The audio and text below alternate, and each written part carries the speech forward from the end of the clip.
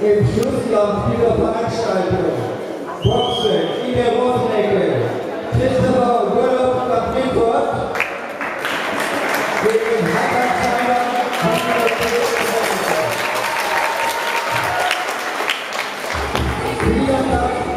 Wiederkampf geht über drei Runden ab zwei Minuten.